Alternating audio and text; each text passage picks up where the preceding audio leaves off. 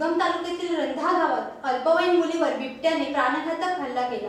या हल्ल्यात अनिता पटेकर ही मुलगी गंभीर जखमी झाली आहे. जखमी अनिताने आरडाओरड केल्याने बिबट्याने तेथून पोबारा केला. तसेच या बिबट्याने रंधा परिसरातील गावकऱ्यांचे पशुधन शेळी बकरी कोंबड्या या बिबट्याने फस्त करून शेतकऱ्यांचे मोठे नुकसान केले. मारला मला काहीच समजलं नाही. फक्त खाली पडले. तो लगेच निघून गेला म्हणजे साईडला गेला. किती वाजता झालाय? सहा साडेसहा पाच घरापासून किती अंतरावर झालंय पाच मिनिटं लागत.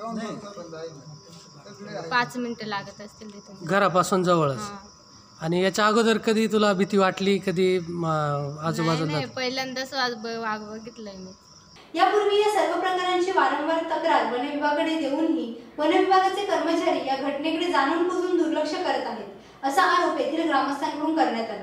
प्रतिनिधी युवराज आधार वेळेस. हा व्हिडिओ तुम्हाला आवडला असेल तर असे आणखी व्हिडिओ पाहण्यासाठी आधार न्यूजचे यूट्यूब चॅनल सबस्क्राईब करा.